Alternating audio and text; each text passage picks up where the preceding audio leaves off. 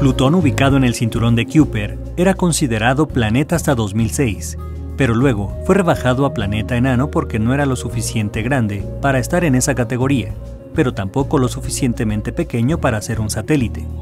En los últimos años y gracias a la misión Nuevos Horizontes de la NASA, se recabaron datos que si bien ya se sospechaban gracias a potentes telescopios como Hubble, ahora se han podido confirmar con el acercamiento de la nave.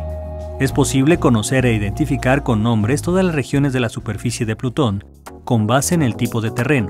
Además se ha encontrado que existe agua congelada y compuestos químicos como metano, monóxido de carbono y nitrógeno, también en estado congelado, destacó la doctora en física espacial María Dolores Maravilla Mesa.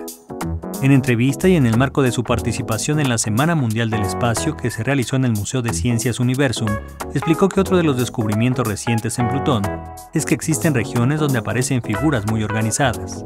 Notimex.